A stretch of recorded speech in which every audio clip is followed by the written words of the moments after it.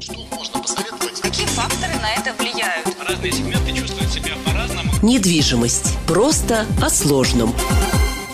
Здравствуйте, у микрофона Владимир Сметанин. Я приветствую Наталью Ашихмину, руководителя агентства кадастра и технической инвентаризации объектов недвижимости «Актион». Добрый день, Наталья. Добрый день. За долгие годы вашей профессиональной деятельности вам приходилось решать самые разнообразные задачи и работать с разными людьми, и уверен, что вам приходится сталкиваться с такой категорией предпринимателей, собственников, которые действуют по принципу, ну уж там в вопросах строительства, кадастра, инвентаризации я сам как-нибудь разберусь без привлечения специалистов. Но на самом деле все это выливается в большие проблемы да, для бизнеса. Чем такая самонадеянность может обернуться? Я думаю, что у нас яркие примеры должны прозвучать в ходе нашей беседы. А, ну, за многолетнюю практику, особенно там за 10 лет, который занимаюсь частным бизнесом, а, думала, меня очень сложно удивить, но оказывается нет. А, люди умеют удивлять, впечатлять, особенно, ну, последний год, наверное, полтора показательный.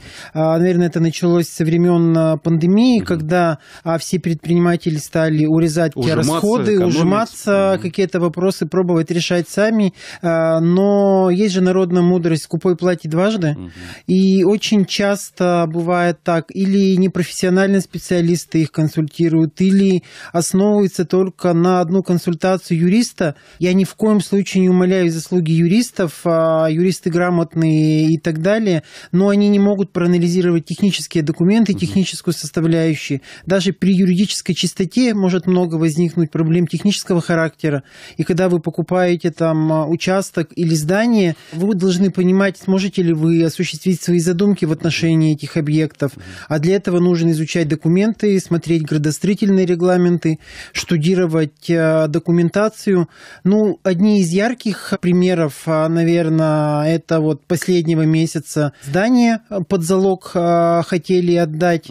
И когда мы стали изучать документы, оказывается, здание числится там один этаж, и площадь там тысяча квадратных метров, а по сути дела по факту два этажа и площадь две тысячи квадратных метров. Угу. Понятно, у собственников возникли вопросы, потому что менеджер банка, когда придет оценивать недвижимость, чтобы сосчитать сумму кредита, тут уже кредит не выдадут под такой объект. Угу. А точно так же приобретают земельные участки, не смотрят ограничения, еще что-то там, и в результате не просчитывают нормы для размещения вновь строящихся строящегося здания, угу. попадают в просак, а они могут построить здание. Ну, вот таких наглядных угу. примеров очень много, что с коммерческими зданиями, помещениями, земельными участками. А если затронуть финансовую сторону вопроса вообще, на, в какие расходы можно уйти, да, в итоге в какие суммы, это, что это действительно вот, скупой платит дважды, и ты не, не досчитаешься потом этих средств. Если вернемся, к примеру, угу. про здание под э, залог, ну, тут мне сложно сосчитать, угу. что тут получается... Ну, у каждого для своя ситуация да. все-таки. А тут нужно будет э, делать проектную документацию, изыскание, получать разрешение на реконструкцию, разрешение на ввод.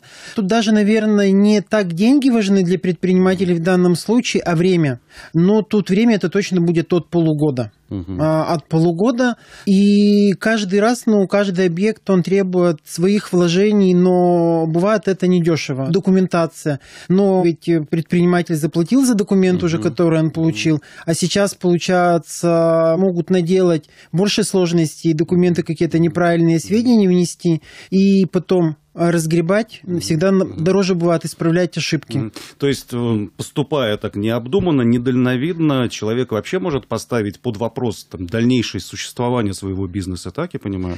Возможно, ну, может, может, может быть, я не так возникнет. громко не говорила, но я всегда да. говорю, имущественные активы, куда у нас включается здание и земельные участки, это а, все-таки ключевой фактор для существования любого бизнеса и предприятия. При таких проблемах с документами это определенные потери и и, возможно, какого-то предпринимателя они поставят и под удар существования всего угу, бизнеса. Угу. Тогда перейдем к вопросу, как вообще понять и как убедить себя, да, предпринимателю, что нужно обращаться действительно к специалистам. Вот как к этой мысли-то прийти? Ну, многие... Как, как, как себя перебороть, да, свое эго? А, многие убеждаются на своих ошибках. А, есть у меня такие клиенты, что да, вот мы тогда э, совершили ошибку, не пришли, не проконсультировались, документы какие-то не сделали. Сейчас они уже всегда предварительно предварительно это делают. Когда человек не хочет его ну, не убедить никакими э, доказательствами и доводами, пока он э, сам не поймет, не поговорит с коллегами Пока или грабли еще что-то. пока грабли не- да, не стукнут грабли, по лбу. а, грабли не стукнут. И как вот сейчас пример, чтобы не наступить на грабли.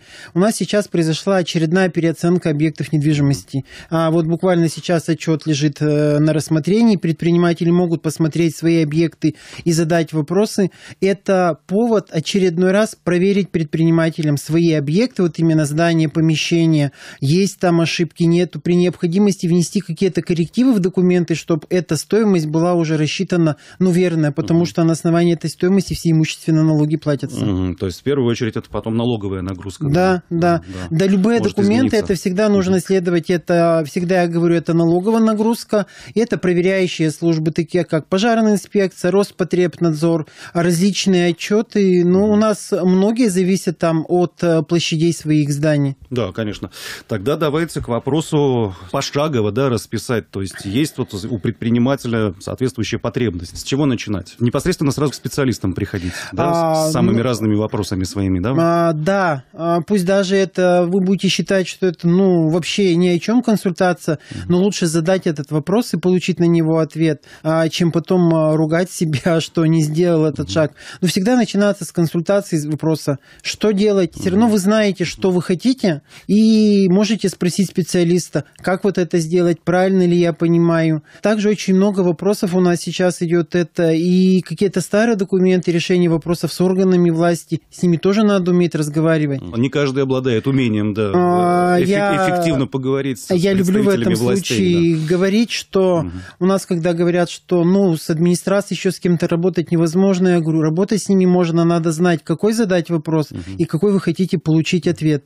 И тогда все вопросы будут решаться. Так или иначе, да, тут нужны люди с соответствующей подготовкой и соответствующими компетенциями. Я напоминаю, что мы беседуем с Натальей Ашихминой, руководителем агентства «Коктион». Ну и в завершении нашей беседы действительно нужно напомнить ваши координаты, где непосредственно можно с вами обсудить А, все рабочие моменты. В настоящее время мы находимся в самом центре города, Карла Маркса 127, седьмой этаж, офис 704. Благодарю вас, благодарных клиентов и тех клиентов, с которыми действительно хорошо взаимодействует и работаете, и с которыми вы на одной волне. Спасибо за этот разговор. А, Благодарю всех за внимание и всем плодотворной рабочей недели.